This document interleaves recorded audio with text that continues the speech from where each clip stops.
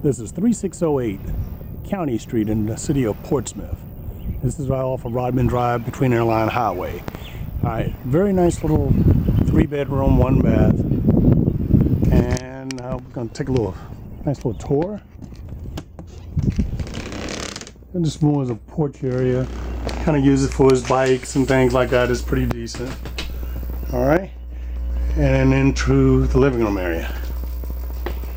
Okay, basically it's one nice large room, nice large family room with the dining room. Okay, and then right off to the left you have one bedroom. Just kind of give you a little picture view of it. Okay, all uh, laminate floors all throughout. All right, and this is bedroom number two.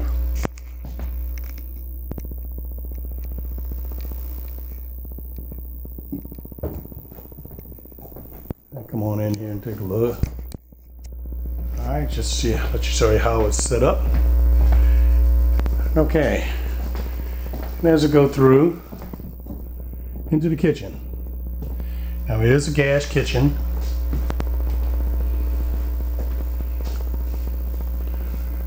Some counter space, nice cabinets, tall ceilings here. Refrigerator. Now the master bedroom is off of this one. Have to go through. You have a master bedroom. Decent size has a king size bed in here. And then here's the bathroom. All right, full shower, bath. Okay. Back out, and then we have doorway to the wash and dry connections. Okay. And then I'll just give you a little picture view of what the backyard looks like. It has a nice little porch deck.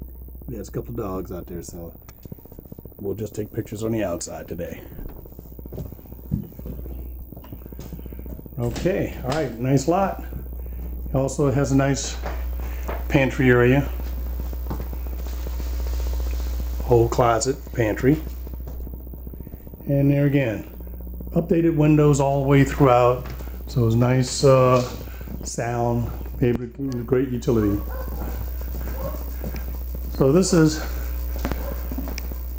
3608 County. Give me a call.